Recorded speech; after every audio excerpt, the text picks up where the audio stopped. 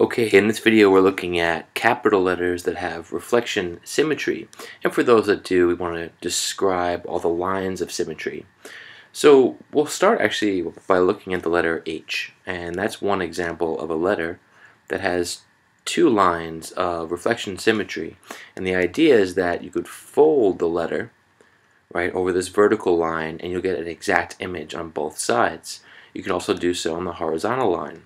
But to see this in action and to understand what we mean by folding and looking at reflection symmetry, I'm going to pull up this GeoGebra um, program that I pulled up and there's lots of great stuff with GeoGebra. Here's just one that someone else put together. Here what you do is you you have the line of symmetry, and you line it up. And once you have this vertical line, you can see that the shape will fold over that piece. And the important part is that we get an exact match when we fold it. If the match is exact here, then we have a line of symmetry. Now the letter H has two lines of symmetry, and we're just showing one right here. Right, this is a vertical line of symmetry, and also I'm sure you can imagine uh, it having the horizontal line of symmetry right here.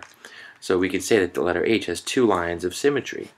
Going from there, I think it's easy to, to work through the letters, imagining how these things would fold. So if we look at the letter A, right, the letter A, if I drew it perfectly, of course, you would see this vertical line of symmetry. It doesn't have a horizontal line of symmetry because you can't fold it that way.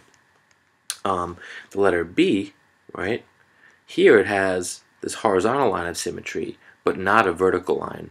And in, in this program right here, we can actually, if this is our line of symmetry right here, you can see it happening. If I draw in terms of this line right here, that's my horizontal line of reflection. If all I do is draw the bottom half, right, and then the top half is a mirror of this, I get the letter B.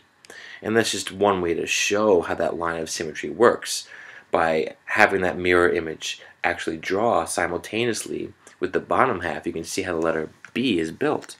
Um, oops. And that is just, you know, that's one way oops, to set up the symmetry here. Anyways, keep going. With the letter C, is there any symmetry there? Yes, in fact, if I draw it like this, right, you can see that horizontal line again. What about the letter D? Yeah, well, again, again, it depends on how you draw it, but if I draw it almost perfectly there, we can fold it in half right here. And then we keep going. The letter E. The letter E is a horizontal line as well. We can fold it there. And the letter F. Here, the letter F has no lines of symmetry, right? The same thing as the letter G. There are no lines of symmetry there, right? A, B, C, D, E, F, G, H. We covered H already. Has two lines of symmetry. How about the letter I? Well, if we draw it this way, we can see that it has both horizontal and vertical lines of symmetry, right? What about the letter J? The J has no lines of symmetry. K? Well, if we draw it like this, we can fold it in half this way with a horizontal line and get some symmetry there. What's next? A, B, C, D, E, F, G, H, I, J, K, L. L has no lines of symmetry. M has a line of symmetry, right? A vertical line right here. We can fold it in half. How about the letter N? Well, N does not have any lines of symmetry, right? You might imagine that we can fold it vertically, but there is no exact match there. O is a fun one because it's a circle. We have infinite lines of symmetry. We can draw lines anywhere here, right?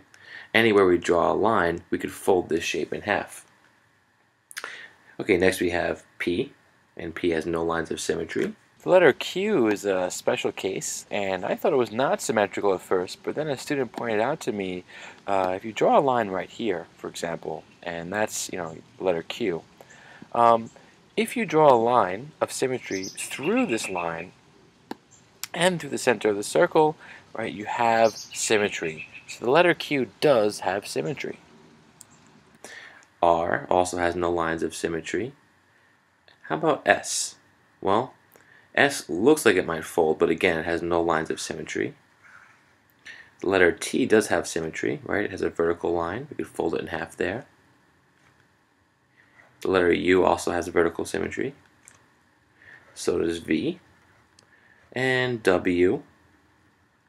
X is also an interesting case, and at first I thought I just had two lines of symmetry, but if we set it up in a certain way, right, um, we have our vertical line of symmetry.